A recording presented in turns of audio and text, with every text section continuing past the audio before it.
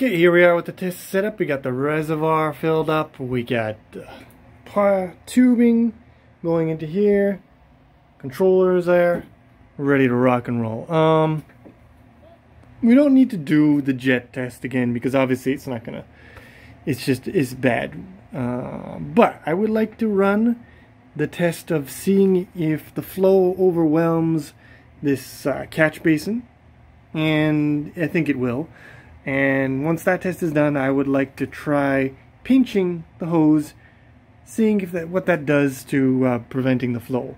And then I'll try to find something like a clip I can put on it and uh, control that. So, yeah, let's try it out. Um, first things first, we're going to turn this bad boy on.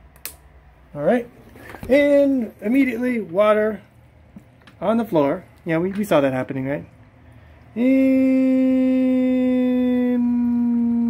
the basin going?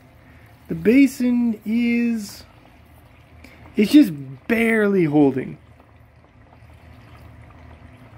It's like right at right at the limit. Alright, emptied this reservoir here. Cleaned up a little mess. Uh, let's try the pinch test.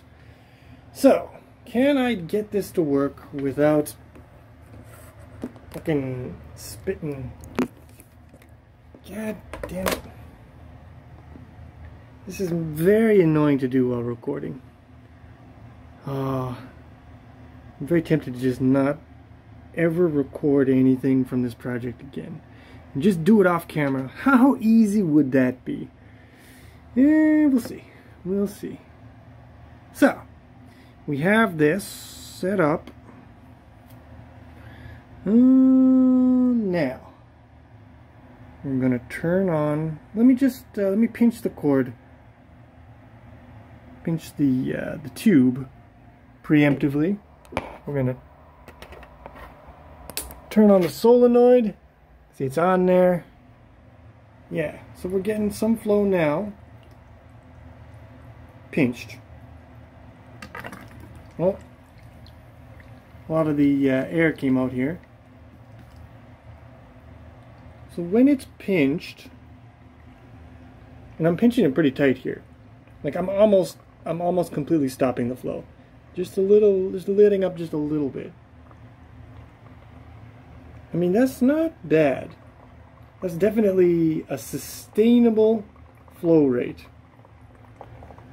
Um, I am a bit of a fan of this. So this is a, this is a viable option. Other options include feeding the tube directly into the uh, the basin here. Let's see if I can do that. One second. I'm gonna put the camera down. Can I jam this hose in? I can. Alright. Now I've got the hose jammed in here. I'm just gonna let her open. Yeah. So that's obviously another option. It's not bad because it actually, uh, like, it holds it in place decently. Like this. You gotta worry about how high this is getting. Because if it gets too high, then, oh god, stop it. yeah, I think it's full now. Yeah, this this thing is completely full up. All right, well, so we got we got options. I can pinch the cable or I can feed this into here.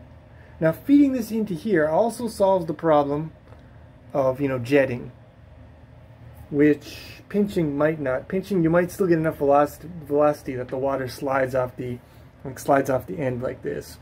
So, yeah. We'll see.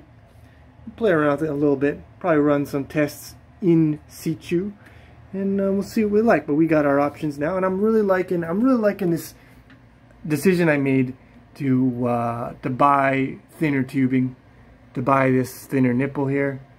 Definitely good. And I'm also liking this connector here. It's beautiful beautiful little connector.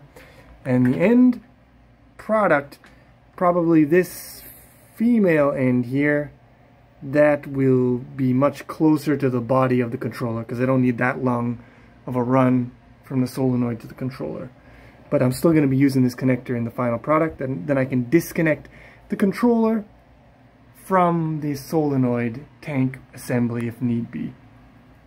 So yeah, progress is being made.